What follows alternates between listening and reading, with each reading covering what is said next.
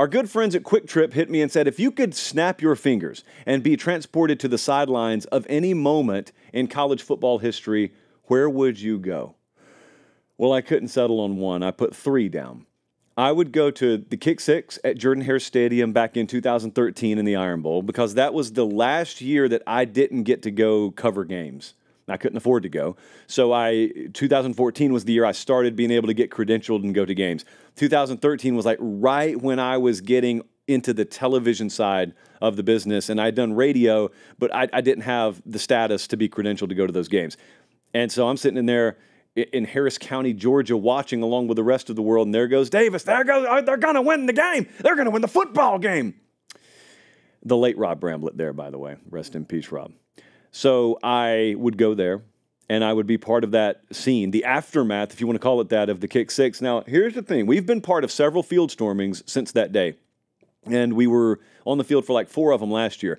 The crazy thing about a field storming is if you've never been a part of one, you have no clue what that's like because you only have seen it from the the wide angle or the all 22 top of the stadium angle or mostly like on ESPN or CBS especially they use that spider cam angle where that's the camera that moves across the field and it gives you a great overlay. It gives you a great view of what's happening, but that's not the view you have. If you're down there in the trenches, you can't see. And so all you're thinking to yourself is there's probably a memorable scene happening right now within this bigger memorable scene. Like there are interactions happening. Uh, there, there could be players from opposing teams jawing face to face. There, there could be fans doing all sorts of crazy things like they did at Neyland Stadium during the Bama game. But the thing about it is, you can only see like six inches in front of you. So you're, you're petrified that there's something memorable happening down there and you're missing it because you're not able to capture it. Anyway, first world problems. The next one is I would go back to the national championship game, 2005 at the Rose Bowl, USC Texas. Vince Young runs it in to the right pylon there.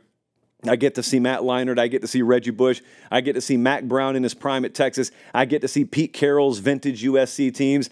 I get to see possibly the greatest national championship game ever played. And as you know, I'm a big proponent of going to big events in this era. I don't care if it's the national championship game, WrestleMania 18 at the Sky Dome, Rock versus Hogan. I'm a big fan of watching big moments from this year in this time period. The Red Sox won the World Series in 04, and I am by no means a Red Sox fan, but those are big seminal moments I remember in sports from that five or six year time frame. The reason I'm so big on it is because that's the last era that was sort of pre cell phone or pre smartphone in a sense that cell phone technology was rapidly advancing to the point where you could really record good video.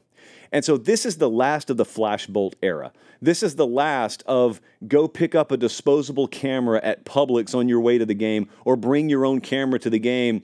Big moment happens and you can tell how big it is by how many flash bulbs there are around the stadium. But really by and large, people were smart enough to realize I'm not going to capture this moment better than my memory and my mind and my eyeballs can capture it. So let me put the camera away. Let me just fully invest myself emotionally in this moment. That's why crowd noise, I think, was better across the board back then than it is now. Because a lot of people, when they're recording on their phone, they don't want to ruin the video by yelling. I wouldn't either. Um, having said that, it takes away from the in stadium environment. So that whole time period there, not to mention it was a great game. I would love to transport myself back there. And also, I don't care which game it is, although there are some favorites. Take me back to the Orange Bowl, take me back to Doak, take me back to vintage FSU Miami games because they still play every year. And hopefully, fingers crossed, like we can get back to the intensity that it was like in this much more grainy footage that I'm showing you here. But wide right, missed kicks. Uh, you've got Miami in the national championship hunt every year. You got FSU in the national championship hunt every year. And it's the must see rivalry game in the sport.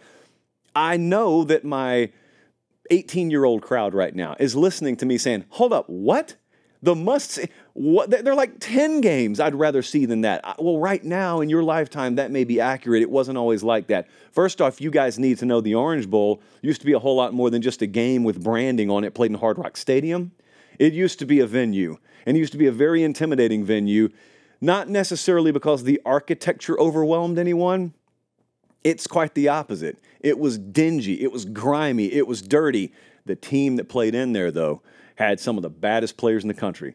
And then FSU came in there every other year. And the years that they didn't come in there, Miami went up to Doak and Tallahassee, and it was must see, man. Intensity off the charts.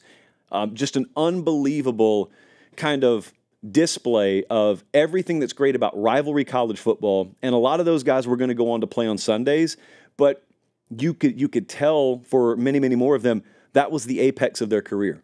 That could have been the apex of their lives.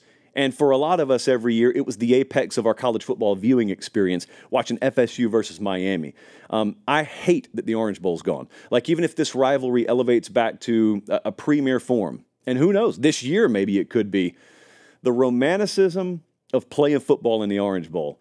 That's not something you can just readily get back. So I'm a big believer that Hard Rock uh, can be a much better environment than it has been for Miami. Go back to the Notre Dame game in the late 20 teens as a case study on what that could be in a big Saturday environment. Man, there wasn't anything down there like the Orange Bowl, though.